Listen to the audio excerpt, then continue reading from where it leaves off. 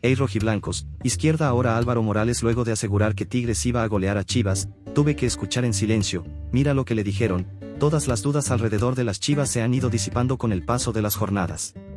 Ahora, de la mano de Belko Paunovic, el cuadro rojiblanco se ubica en la tercera posición de la tabla general y despliega un fútbol agradable en el terreno de juego.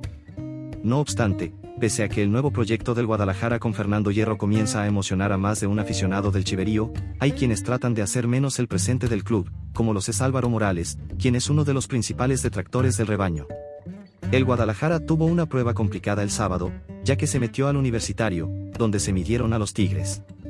Y aunque el cuadro de la U se perfilaba como amplio favorito, el rebaño sagrado dio la campanada al concretar un triunfo que los afianza en zona de clasificación directa.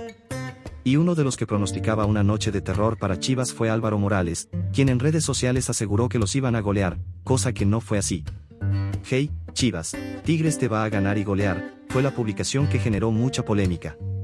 Hey rojiblancos, pero antes vemos qué le dirán a Álvaro, si eres nuevo aquí en el canal, te invito a suscribirte al canal, y deja tu like para que no te pierdas las últimas noticias de Chivas, que publicamos diariamente aquí en el canal, continuemos. Luego de la victoria de Chivas en el universitario, el analista de ESPN tuvo que tragarse sus palabras, debido a que de inmediato los aficionados del equipo rojiblanco comenzaron a reaccionar en contra de su publicación. En su programa va a encontrar argumentos para demeritar el juego de Chivas, pues como analista y pronosticador eres una bella bailarina, ganó el rebaño sagrado, tu personaje ya pasó, ya no generas nada, dedícate solo a Messi los argentinos y te siguen el juego, fueron algunos de los comentarios en su contra.